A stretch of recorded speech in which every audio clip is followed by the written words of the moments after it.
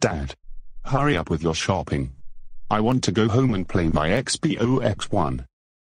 I'm in the middle of shopping. Let me finish shopping. No. I want to go home.